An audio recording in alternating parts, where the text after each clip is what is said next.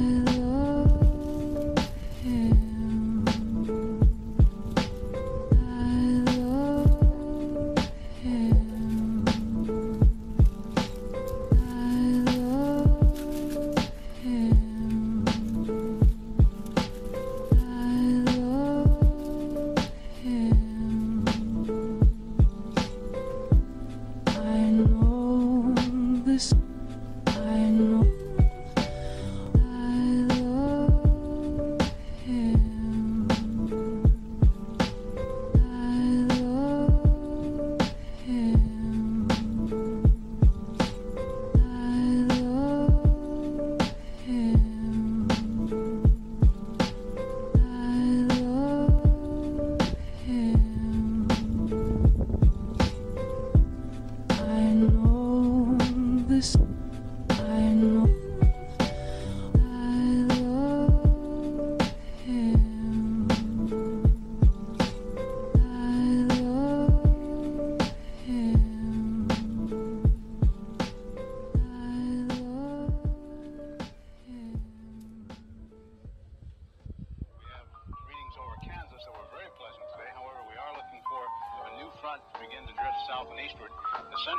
eastern parts of Kansas will very probably be cloudy in the morning, and then western Kansas will begin to get increasing cloudiness by tomorrow afternoon.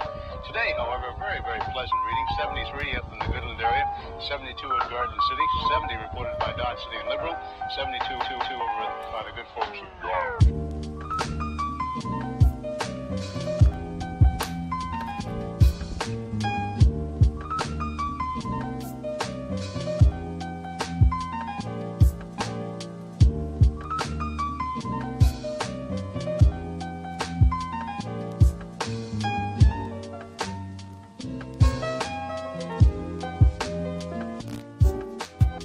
And in the Ponca City Blackwell area, 68 degrees today.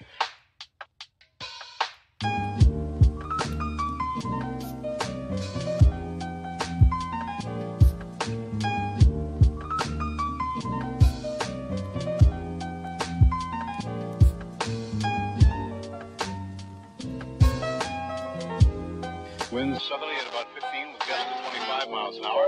Barometric pressure 30.00 and is rising. And no precipitation. We're about a half inch behind, correction, half inch ahead for the year, and one and 53 hundredths behind for the for the year so far. We'll be looking for a little bit of a change tomorrow, and of course the possibility of some scattered showers. Today, of course, there's nothing showing up on the radar. However, the satellite photo was pretty interesting for the western half of the U.S. Rain showers and thunder showers along that frontal system that wide band of fairly heavy snows. Now, what will happen each time that you see the frontal system on there, that begins at 6 o'clock in the morning, and then you'll see the cloud pattern move until 2 o'clock this afternoon. So, as of that time, of course, the front was way off in the northwest. Now, however, it's moving into the central part of the nation with a couple of high pressure cells behind it.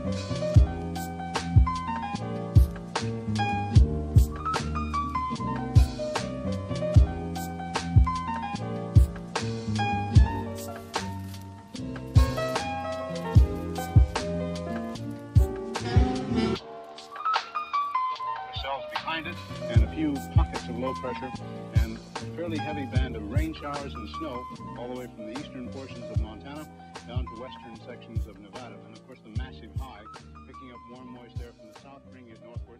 So when the two masses collide over Kansas, we are looking for some precipitation, and we'll talk about that.